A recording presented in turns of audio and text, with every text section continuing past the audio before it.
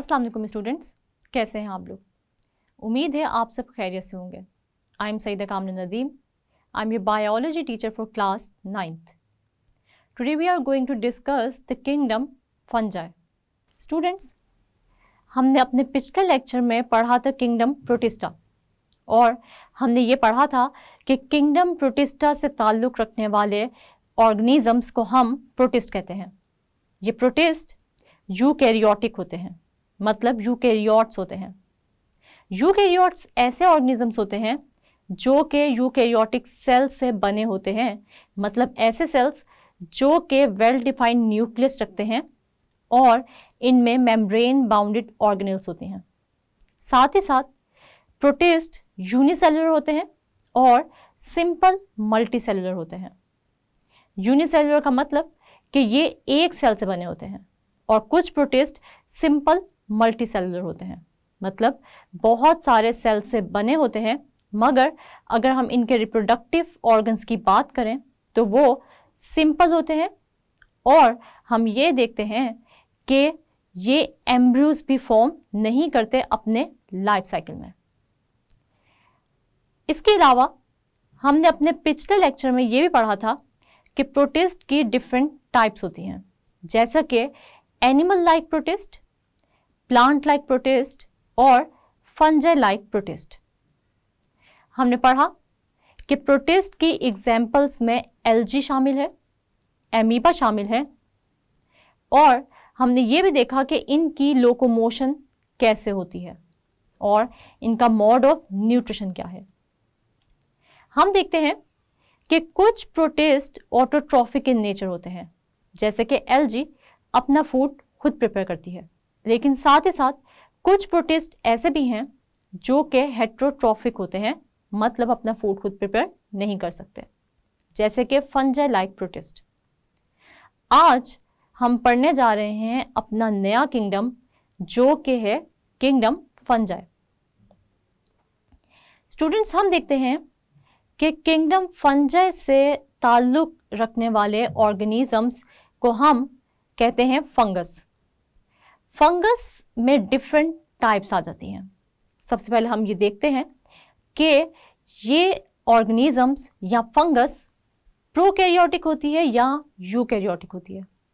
तो यूकैरियोटिक होती है फंगस और यूकैरियोटिक का मतलब क्या है कि ये यूकैरियोट्स हैं मतलब यूकैरियोटिक सेल से बने हैं। स्टूडेंट्स आप लोग को पता है कि यूकैरियोटिक सेल्स कौन से सेल्स होते हैं?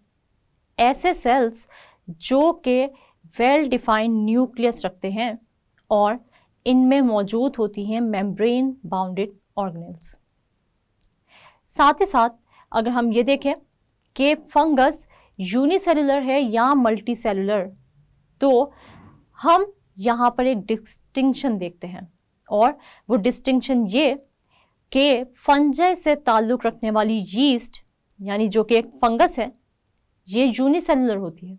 मतलब ये सिर्फ़ और सिर्फ़ एक सेल से बनी हुई है। यीस्ट आप लोगों को अच्छी तरह मालूम है कि हम बेकरी में भी यूज़ करते हैं या घर में अगर हमने पिज़्ज़ा बनाना है या फिर हमने इंडस्ट्री में वाइन या बियर बनानी है तो भी हम यीस्ट यूज़ करते हैं। यीस्ट ऐसे यूनिसेलुलर ऑर्गेनिज्म है जो कि कॉलोनीज की फॉर्म में एग्जिस्ट करती है। हम ये देखते हैं कि यीस्ट की एग्ज़ाम्पल हमने पहले भी पढ़ी है कॉलोनियल ऑर्गेनाइजेशन में। और यीस्ट एक फंगस ही है, मगर यूनिसेलुलर इसके साथ साथ अगर हम फंगस को देखें तो फंगस मल्टी सेलुलर भी होती है। मतलब मल्टी सेलुलर का मतलब ये हुआ कि फंगस बहुत सारे सेल से मिलकर बनी हुई है। हम देखते हैं। इसका मतलब ये हुआ कि फंगस में दो टाइप्स की ऑर्गेनाइजेशंस पाई जाती हैं, यानी यूनिसेलुलर और मल्टीसेलुलर और यीस्ट कॉलोनियल ऑर्गेनाइजेशन भी शो करती है। इसके अलावा अगर हम फंगस की मोड ऑफ़ न्यूट्रिशन की बात करें, यानी ये ऑटोट्रॉपिक है या हेट्रोट्रॉफिक है। मतलब क्या फंगस अपना फ़ूड खुद प्रिपेयर कर सकती है? तो बिल्कुल नहीं। फंगस अपना फ़ूड खुद प्रिपेयर नहीं कर सकती। क्योंकि फंगस के सेल्स में क्लोरोप्लास्ट मौजूद नहीं होता। और फंगस फोटोसिंथेसिस के थ्रू अपना फ़ूड खुद प्रिपेयर नहीं कर सकती। फंगस हेट्रोट्रॉफ है। और ये डिफरेंट टाइप के हेट्रोट्रॉफ है। मतलब एब्जॉर्प्टिव हेट्रोट्रॉफ एब्जॉर्प्टिव हेट्रोट्रॉफ का मतलब ये है कि फंगस दूसरे ऑर्गेनिजम्स पे ग्रो करेगी और ये एब्जॉर्ब करेगी न्यूट्रिएंट्स को from the surface of other organisms body मतलब ये दूसरे ऑर्गेनिजम्स की बॉडी की सरफेस से न्यूट्रिएंट्स एब्जॉर्ब करेगी और इसीलिए हम इसको कहते हैं एब्जॉर्प्टिव हेट्रोट्रॉफ स्टूडेंट्स अगर हम बात करें रिप्रोडक्शन की तो फंगस में डिफरेंट टाइप्स की रिप्रोडक्शन पाई जाती है। जैसे कि बर्डिंग फ्रेगमेंटेशन और इसके अलावा स्पोर फॉर्मेशन अगर हम बर्डिंग की बात करें तो फंगस की हाइफी डिफरेंट बर्ड्स बनाती है, यानी कि आउटग्रोथ्स बनाती है। ये आउटग्रोथ्स जब अलग होंगी फंगस की बॉडी से तो ये नई फंगस में डेवलप हो जाएँगी। साथ ही साथ, अगर ये आउटग्रोथ या बर्ड अटैच रहेगी फंगस की बॉडी से तो ये कॉलोनियल ऑर्गेनाइजेशन शो करेगी। जैसे कि यीस्ट में भी हम देखते हैं। इसी तरह, हम ये भी देखते हैं कि फंगस में फ्रेगमेंटेशन भी होती है। इसका मतलब ये है कि फंगस की बॉडी डिफरेंट पीसेस में या फ्रेगमेंट्स में टूट जाएगी और हर फ्रेगमेंट, यानी हर बॉडी का पीस एक नई फंगस डेवलप करने के काबिल होगा। इसी तरह फंगस में स्पोर फॉर्मेशन भी होती है और ये स्पोर्स जब भी अपनी फेवरेबल कंडीशंस पर लैंड करेंगे तो वहाँ पर फंगस की ग्रोथ स्टार्ट कर देंगे। जैसे कि हम देखते हैं अक्सर फ्रूट्स को जहाँ पर फंगस ग्रो होती है। साथ ही साथ अगर हम राइजोपस की एग्जांपल लें तो ये भी एक टाइप है फंगस की, जो अक्सर आपको ब्रेड पर नज़र आती है। हम ये देख सकते हैं कि ब्रेड के स्लाइस पर एक नेटवर्क लाइक मटेरियल आपको नज़र आएगा जो कि ग्रीन ब्लैक ब्राउन या वाइट कलर का होगा। और ये है फंगस जिसका नाम है राइजोपस हम ये देखते हैं कि आपको अक्सर स्पोर्स भी फंगस पर नज़र आते हैं। और यही स्पोर्स जब दूसरे फ्रूट्स वेजिटेबल्स या किसी भी फ़ूड मटेरियल पर लैंड करेंगे और उनको अपनी फेवरेबल कंडीशंस अवेलेबल होंगी। यानी उस फंगस की ग्रोथ के लिए जो टेम्परेचर जो पीएच और बाकी जो भी कंडीशंस उसको चाहिए, वो मौजूद होंगी तो ये फंगस करेगी ग्रोथ और फिर हमारा फ़ूड खाने के काबिल नहीं रहेगा। चाहे वो फ्रूट हो, चाहे वो वेजिटेबल हो, या कोई भी दूसरा फ़ूड आइटम हो। हम ये भी देखते हैं कि फंगस जहाँ पर बहुत नुकसानदेह है और डिफरेंट डिज़ीज़ कॉज करती है प्लांट्स में एनिमल्स में और बाकी ऑर्गेनिजम्स में, वहाँ फंगस बहुत फ़ायदेमंद भी है। मतलब हम फंगस को इस्तेमाल कर सकते हैं अपने फ़ूड के लिए, यानी फंगस एडिबल भी है, यानी खाने के काबिल भी है। जैसे कि हम यूज़ करते हैं ट्रफल्स को और साथ साथ मशरूम्स को। तो मशरूम्स को हम यूज़ करते हैं। सूप बनाने में भी और इसके अलावा डिफरेंट डिशेस में। इसके अलावा हर फंगस एडिबल नहीं है, क्योंकि फंगस पॉइजनस इन नेचर भी है। कुछ फंजाई की टाइप्स ऐसी हैं जो कि पॉइजनस होती हैं और जब हम उनको खाते हैं तो हमारी एक स्लाइस से भी डेथ हो सकती है। यानी अगर हम छोटा सा भी पीस या छोटा सा भी एक टुकड़ा फंगस का खा लेंगे, जो कि पॉइजनस है तो हमारी उस एक स्लाइस ऑफ़ फंगस से भी डेथ हो सकती है। इसलिए हमने वही फंगस एज अ फ़ूड इस्तेमाल करनी है, जो कि पॉइजनस नहीं है और एडिबल है। जी स्टूडेंट्स तो हमें पता है most fungi are decomposers they live on organic material secrete digestive enzymes and absorb small organic molecules form by the digestion by enzymes इसका मतलब ये हुआ कि फंजाई ऑर्गेनिक मटेरियल पर रहते हैं और ये उस ऑर्गेनिक मटेरियल से अपने न्यूट्रिएंट्स हासिल करने के लिए डाइजेस्टिव एंजाइम्स रिलीज़ करते हैं। ये डाइजेस्टिव एंजाइम्स लार्ज मॉलिक्यूल्स को स्मॉल मॉलिक्यूल्स में कन्वर्ट करते हैं। और फिर ये स्मॉल मॉलिक्यूल्स एब्जॉर्ब करते हैं ये फंजाई इसके अलावा स्टूडेंट्स हम अगर ये देखें कि फंगस किस किस तरह एग्जिस्ट करती है या किस फॉर्म में प्रेजेंट होती है तो एनवायरनमेंट में फंगस फ्री लिविंग भी है पैरासिटिक भी और साथ ही साथ सिम्बियोटिक भी. मतलब हम ये देखते हैं कि अक्सर फंगस फ्री लिविंग यानी इंडिपेंडेंटली रह सकती हैं। लेकिन कुछ फंजाई की टाइप्स ऐसी हैं जो कि पैरासिटिक हैं। और पैरासाइट का मतलब हमें पता है।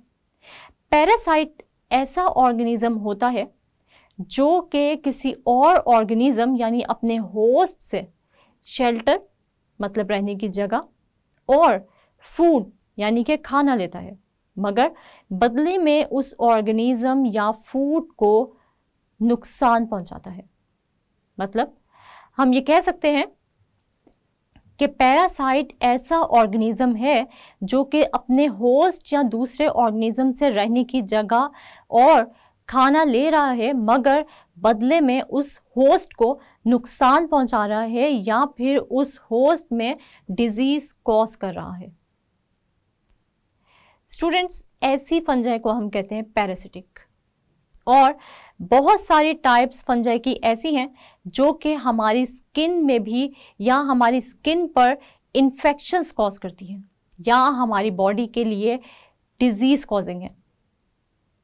इसी तरह हम ये भी देखते हैं कि फंजाई सिम्बियोटिक रिलेशनशिप में भी नज़र आती हैं और अगर हम फंजाई की एक एग्जांपल लें तो वो है माइकोराइजल फंजाई माइकोराइजल फंजाई ऐसी फंजाई होती है जो कि आपको प्लांट्स और फंजाई की एसोसिएशन में नज़र आती है। और हम देखते हैं कि ये एक म्यूचुअलिस्टिक रिलेशनशिप है। मतलब ऐसा रिलेशनशिप जिसमें प्लांट्स फंजाई को फ़ायदा पहुंचाएँगे और जो फंगस है, वो प्लांट को फ़ायदा पहुंचाएगी। कैसे? कि फंगस प्लांट की बॉडी पे रहेगी, उससे शेल्टर लेगी और एब्जॉर्ब करेगी न्यूट्रिएंट्स सॉइल से। और फिर ये न्यूट्रिएंट्स प्रोवाइड करेगी उस प्लांट को जो कि फ़ूड प्रिपेयर करेंगे। इन न्यूट्रिएंट्स को यूटिलाइज करके। और फिर ये फ़ूड या ये न्यूट्रिएंट्स एब्जॉर्ब करेगी फंगस इसका मतलब ये हुआ कि फंगस इस प्लांट से ले रही है शेल्टर और फ़ूड और इन रिटर्न उसको भी पहुँचा रही है न्यूट्रिएंट्स इसको हम पैरासिटिक फंगस नहीं कह सकते। क्योंकि इस रिलेशनशिप में फंगस उस ऑर्गेनिज्म को फ़ायदा पहुँचा रही है, नुकसान नहीं पहुँचा रही। तो हम ये कहते हैं कि प्लांट और फंगस की ये रिलेशनशिप म्यूचुअलिस्टिक है। और ओवरऑल हम इस रिलेशनशिप को कहेंगे सिम्बियोसिस स्टूडेंट्स आज हमने फंगस को डिटेल में स्टडी किया। अपने नेक्स्ट लेक्चर में हम लोग स्टडी करने जा रहे हैं बाकी किंगडम्स को डिटेल में। जैसे कि किंगडम एनिमेलिया और किंगडम प्लांटी मुझे उम्मीद है कि आप लोगों को अब अच्छी तरह पता चल गया होगा कि फंजाई के क्या फ़ायदे हैं, वो किस फॉर्म में एग्जिस्ट करती है और इसके अलावा हमने ये भी देखा कि फंजाई एडिबल भी है और नॉन एडिबल भी। यूकैरियोटिक है मल्टी सेलुलर भी है और यूनिसेलुलर भी है। जी स्टूडेंट्स तो अब मैं आप लोगों से एक छोटा सा क्वेश्चन ले लेती हूँ, ताकि मुझे ये पता चल सके कि किंगडम फंजाई आपको किस हद तक समझ आ गया है। हमारे पास जो सबसे पहला क्वेश्चन है, वो है write down cellular organisation of fungi यहाँ पर आपसे ये पूछा जा रहा है कि फंजाई की सेलुलर ऑर्गेनाइजेशन बताएँ। तो स्टूडेंट्स हमें पता है कि फंजाई यूकैरियोटिक होते हैं और मल्टी सेलुलर होते हैं। इसका मतलब ये हुआ कि ये यूकैरियोट्स होते हैं, यानी यूकैरियोटिक सेल से बने होते हैं। और हमें पता है कि यूकैरियोटिक सेल्स ऐसे सेल्स होते हैं जिनमें वेल डिफाइंड न्यूक्लियस और मेम्ब्रेन बाउंडेड ऑर्गेनल्स प्रेजेंट होती हैं। फंजाई मल्टी सेलुलर होते हैं, इसका क्या मतलब है?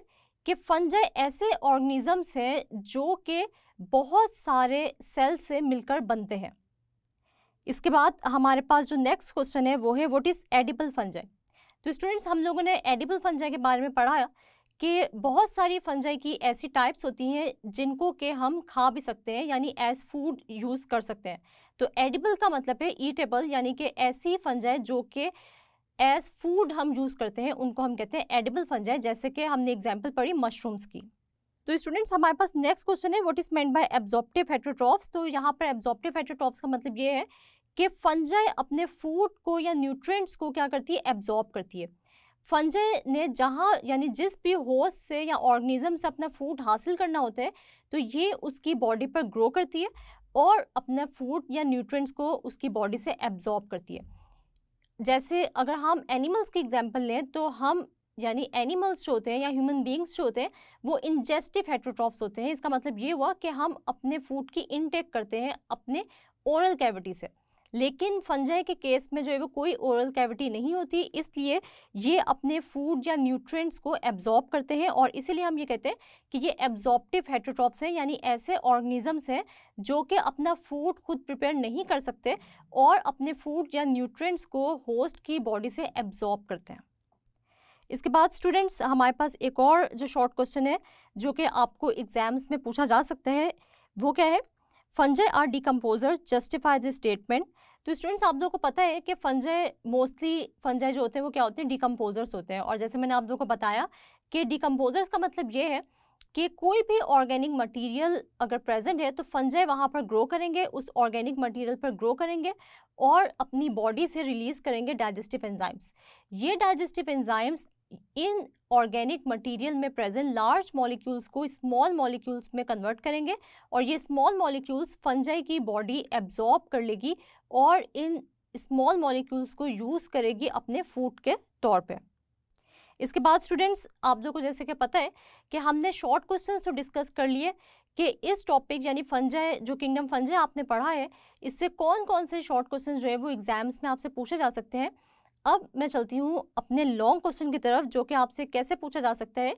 Write note on kingdom fungi तो स्टूडेंट्स आप लोगों ने करना क्या है कि आपने मार्कर से हेडिंग देनी है किंगडम फंजाई की, इसके बाद आपने जो है वो हेडिंग्स बनानी है, और वो कौन सी हेडिंग्स है? कि सेलुलर ऑर्गेनाइजेशन क्या है फंगस की, कि वो यूकैरियोटिक है मल्टी सेलुलर है? इसके अलावा हम देखते हैं कि आपने इसके बाद जो हेडिंग बनानी है, वो है मॉडर्न न्यूट्रिशन की, कि ये एब्जॉर्प्टिव हेट्रोट्रॉफ है, और फिर आपने जो है वो फंगस की एग्ज़ाम्पल की हेडिंग बनानी है। इसके अलावा फिर हम देखते हैं कि आपने ये भी हेडिंग बनानी है कि फंजाई जो है वो क्या होते हैं? मोस्टली डिकम्पोजर्स होते हैं और इन हेडिंग्स के साथ आपने अच्छे तरीके से किंगडम फंजाई को एक्सप्लेन करना है। तो स्टूडेंट्स अब आप लोगों ने ये छोटी सी एक्टिविटी करनी है कि जो शॉर्ट क्वेश्चंस मैंने आप लोगों को बताए हैं, वो आपने प्रिपेयर करने हैं और इनकी रिटर्न प्रैक्टिस कर लेनी है। स्टूडेंट्स हमने देखा आज किंगडम फंजाई किंगडम फंजाई से रिलेटेड ऑर्गेनिजम्स, हमने देखे कि ये यूकैरियोटिक होते हैं मल्टी सेलुलर होते हैं और हेट्रोट्रॉप्स होते हैं। मतलब ये अपना फ़ूड खुद प्रिपेयर नहीं कर सकते और ये अपना फ़ूड एब्जॉर्ब करते हैं दूसरे ऑर्गेनिजम्स की सरफेस से। किंगडम फंजाई से ताल्लुक़ रखने वाले ऑर्गेनिजम्स डिकम्पोजर्स होते हैं। हम देखते हैं कि अगले लेक्चर में हम डिस्कस करेंगे नेक्स्ट किंगडम्स को मतलब किंगडम एनिमेलिया और किंगडम प्लांटी को। उम्मीद है आज का लेक्चर आप लोग को अच्छी तरह समझ आ गया होगा। नेक्स्ट लेक्चर तक के लिए अपना बहुत सारा ख्याल रखिएगा। तब तक के लिए अल्लाह हाफिज़।